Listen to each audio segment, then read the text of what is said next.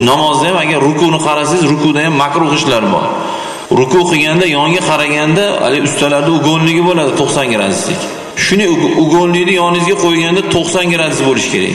Oyoq ham bukilmasligi kerak bel tepa ham pasan bo'lib ketmasligi kerak bosh chiqmasligi kerak tushmasligi kerak. Lekin mana tan olaylik. Endi hammamiz lob bo'lib ketadiyu lekin juda ko'p namozxonda rukusini o'zi xatosi bor. Qana sajda qiladi desa? Nimadirmish sajda qilganda ikkovi boshmallarida burnini to'sib oladi. Qayerdan topib oldik bu gapni biz nimaga burunni to'sadi? Rukudan sami allohu liman hamida deb qaytganda osmonga qarayotgan namozxonlar to'la yotib.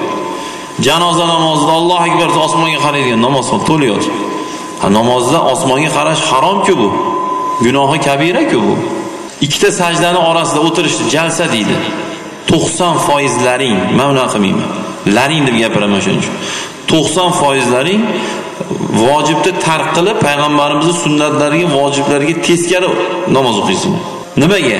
Ikkita sajdani o'rtasida chapayog'ini ustiga o'tirib hamma a'zolari joyiga kelgandan keyin nega ikkinchi sajdaga ketish kerak. Hali orqasi o'rnashib o'rnashmasdan beli tika bo'lib bo'lib bo'lmasdan ikkinchi sajdaga ketyapti. Rasululloh buni nima dedilar? Dunyoda eng yomon katta o'g'ri shu dedilar. Namoz o'g'risi dedilar. Mana azizlar bugun o'sha ilm sohasida gapirayotganligim uchun man xursand bo'ldimki o'rni keladi bugun chunki o'rni kelmayapti u. Mana tahorat qilyapti yetmishdan oshgan odam ko'zim bilan ko'rdim o'zim. Shu yerda tahoratxonada kastimni shu chig'anoqdan bir nima desam bir o'n besh santimetr pastgacha ko'tarilgan xolosda u chig'anoqni yuvish tugul qo'ying kastim jicha ko'tarilib tahorat qilyaptilar. Yetmishga kirgan odam.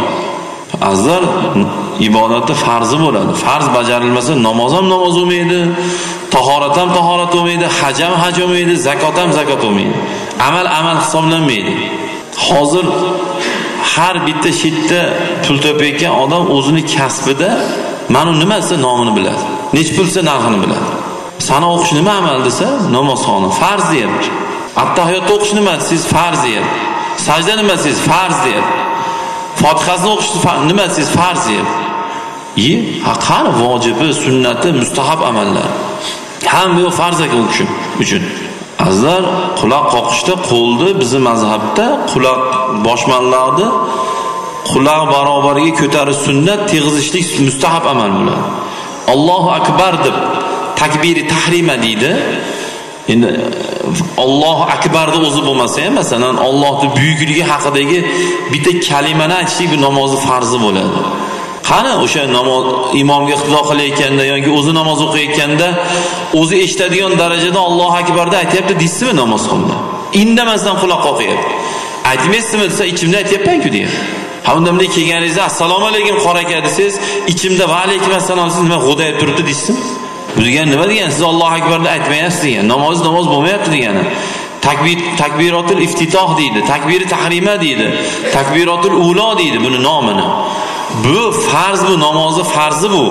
Iqtido qilganimizda imom ham o'zimiz ham iqtido qilgan odam ham yolg'iz o'qiganimizda ham agar o'zimiz eshitadigan darajada Allohu akbar demasak namozimiz namoz. Ha desa qunut duo yodlanmayapti. 50-60 foiz namozxon quni duoni bilmaydi. 80-90 foiz namozxon janoza namozi o'qishni bilmaydi.